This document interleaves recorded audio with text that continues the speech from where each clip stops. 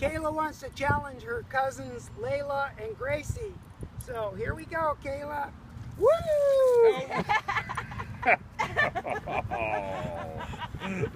She doesn't do anything. Run, run,